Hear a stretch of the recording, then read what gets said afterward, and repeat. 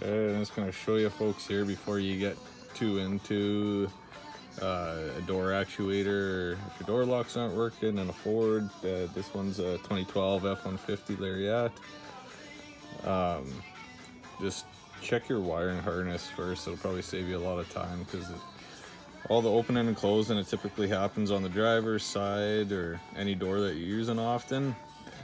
There's a little uh, hard bar in there and it ends kind of right here. I've already taken it out, but anyways, all the wires will start bending at the end of it and they start to break. So you can see in there, I don't have power locks. My uh, window lock doesn't work. Uh, one direct, or sorry, two directions of my power mirrors don't work. Um, so yeah, I just got a whole new harness and it's pretty hard to get in there and rewire it all, but it can be done with a lot of patience. But I just went through Ford and got a OEM part and that's what I'm doing today.